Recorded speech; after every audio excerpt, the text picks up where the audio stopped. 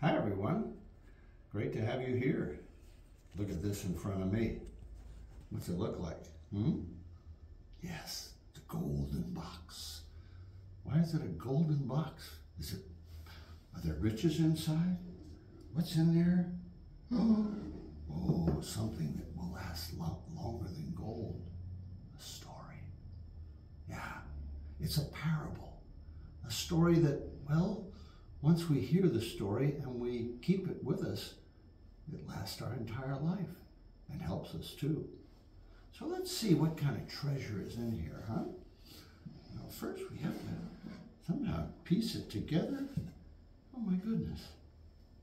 Look at this. What is this?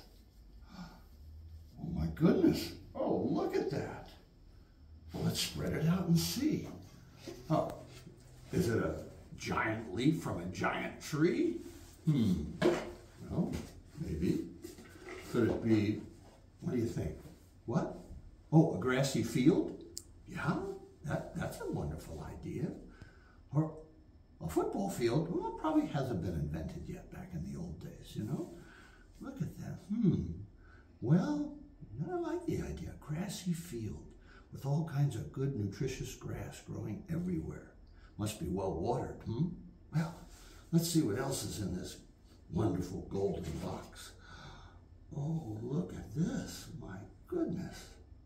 Well, this is, is it a piece of the sky? Hmm? No? What could it be? It's blue? What things are blue? Hmm? Yes, there's all kinds of things that are blue. The water. Oh, you think it's water? Like a lake or a pond? Oh, that's a great idea. Wow, yeah, let, let's put it right here. Let's put, so we, so we have this big grassy field with all kinds of nutritious grass. We have this wonderful pond of water. Oh my goodness me, what, what, what is this? Wow. Look at how bright this is and bright this is and colorful and colorful. These are dark. These are like, what? Shadows? Well, yeah, I wonder what makes the shadow. Something black, like, oh, maybe like lava? Oh, you know what? Well, lava, when it cools, it becomes a rock. Maybe this is a rock. Maybe there's three rocks. Oh, boy, because they don't really give much light, do they? No, not a dark rock. Mm-hmm. Wow. Okay. Well, so we have a grassy field, we have water, and we have rocks. Oh, let's see. What else? What is this? Oh, what do you think this is? Is it pasta? Brown pasta? No. Well, could be. Is it a road? Is it a, a, a rail? Is there a train go over it? Think of all the things this could be. But what if we do something like this? Let's put them like this. Now what are they? Ah, they're curves and this is a road, right? No? Hmm? And it could be a, a pathway or it could be, well, maybe there's a river that flows through here, but we don't see it getting to the lake. It's, it's wonderful to wonder when you see a story evolve. You wonder what's, what's happening here and what things are. Well, let's see. What, oh my goodness, there's a whole bunch of these things. Well, let's put one in here. This, you, let's go like this. Ah, it's a horseshoe? Well, it could be a horseshoe. what, what about here? What if we do? Oh, it's a, yes, it's a square. It's not a circle, it's a square. Lots of things are built in squares, right? What do you think it could be? Foundation of a house? Maybe, maybe a corral for animals? Maybe, maybe it could be, you know, a, some kind of enclosure for a whole village, a wall. Hmm, let's see. There's a whole bunch of these. So let's, here, help me put these on. There's that one there. And we have another one here. Oh, yes, let's build it higher. That's right, we're building it higher. So what do you think, as we're building this, what do you think this is? Oh, yeah, yeah, great idea. Yeah, it's a corral, or it's, a, it's an enclosure. Yeah, an enclosure. So it's, it's, it's meant to keep something in, right? What do you think they would want to keep in? Hmm? Yeah, you? Oh, no, no, no, of course not. you get freedom. How about this one? Uh, well, this could be a house. Yeah, it could be a house, but it's kind of neat. Well, if it's a house, we we need to we need to decide to get how to get in and out. So maybe it's not a house. It, you think it's a fence? Oh. Well, if it's a fence, what's in here? Not people. Could be. Oh my goodness, look at what I have here. Oh my goodness, look at this. Ah, now we know what it is. Right. It's an enclosure. It's called, that's right, a sheepfold. And that's where the sheep are because the sheep tend to wander if they're just let go. Well, I wonder who takes care of the sheep. Well, there was a story of a man, a wonderful man. And, well, he took care of everything. And, you know, everybody followed him because of what he said and what he did was all good. And so one day somebody decided, well, I'm going to ask him who he is, okay? Yeah, yeah, yeah, yeah. Uh, tell me, who are you? What's your name? And the answer was amazing. I am the good shepherd. I know every one of my sheep by name, and I lead them. I lead them into all kinds of wonderful places. How, how do you do that? Well, first we have a gate, and that gate allows me to take them out. And every day I take them out. And here he is. Oh my goodness me. And he walks and he walks. We have several different things we can use. Let's do this. Let's have him walk. He opens the gate. And the sheep listen to him. They know his voice. They trust him. They know he leads them into wonderful places. And then he closes the gate. And then he takes this journey. And he says, I lead them where there's good grass. And they eat and they're happy. And oh, the grass is so nutritious. Oh, they love to eat. And then I bring them to water so they have plenty to drink. And so they come to the lake. That's right, the lake or the pond and they drink and they drink and they drink, and ah, they slake their thirst. And then he says, Now I'm going to take them on a journey. And he takes them through a rocky, mountainous area, which is a, another way back from the lake to the, to the enclosure.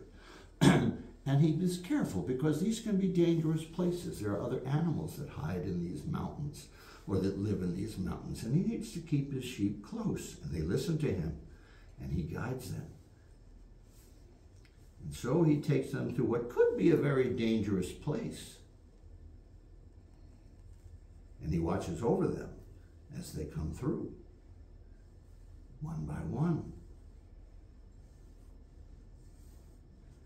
And then he leads them back out to the safety of the grass and the open fields.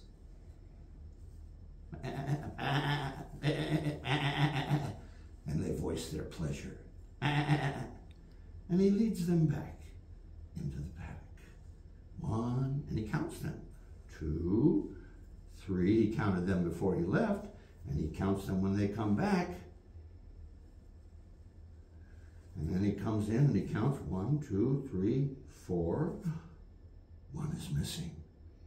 He's the good shepherd. And if one is missing, he immediately wants to take care of that one that's missing. He loves all his sheep. And so he closes this to keep them in, and he goes back the way he looks, and he looks, and he looks, and ah, one wandered into some little bits of grass. And so he takes the sheep, and sometimes he even carries the sheep right on his shoulders, and he brings that missing sheep back. And then he opens the gate, lets them in, lets him in or her. And now they're all safe. And you know, that's what a good shepherd does. Always take care of his flock. Always take care of his people. If he was just an ordinary shepherd, what do you think he would have done, huh? You think he would have gone to the trouble of going searching through everything? No, probably not. Probably didn't care much, an ordinary shepherd you know, there's a story about that, but just in brief, it's sometimes, you know, there may be wild animals out there, and what they what they do is they they have to feast on whatever food is there, and if there's a sheep there, well, they may go and find that sheep, and if there's no one to protect the sheep, what could happen? But the good shepherd, he's not an ordinary shepherd. He really takes care of every single one of his sheep all the time. If one is missing, he makes sure that that one is found.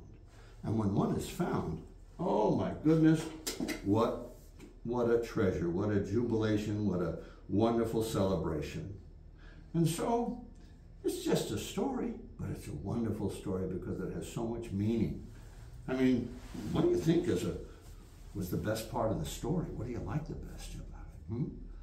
About the Good Shepherd? Yeah, I think that's the main part of the story. But also, there's a landscape, there's beauty.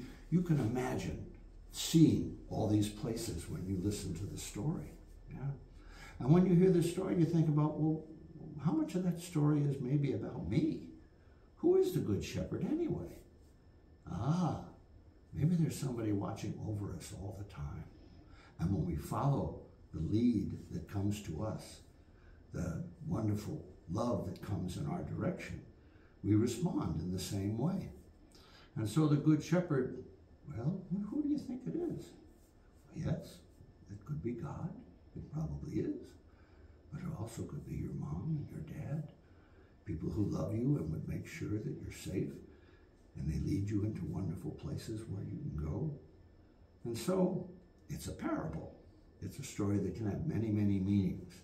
Like, put yourself in this story and think of what you would do. Of course, you'd be a good shepherd too. And so, take this parable, tell other people about it, and enjoy it, and listen to it. And then think about how you might be able to be a good shepherd all the time and follow a good shepherd all the time. So, let's put the sheep back, back, into their treasure because a story can be told again and again and again. Oh, and let's the good shepherd, let's him go back in there too. And here's our landscape. We take apart our fence, since there's no one enclosed to take away anymore. Oh, look at that. That's going to be a good fence. We'll put that back in the treasure box. Yes, and we're going to take care of these dark stones. No, no wild animals there today. Thank goodness for that. And our beautiful lake. And finally, we roll up this wonderful field of grass where our story took place. And you now can have some wonderful work that you can share yourself.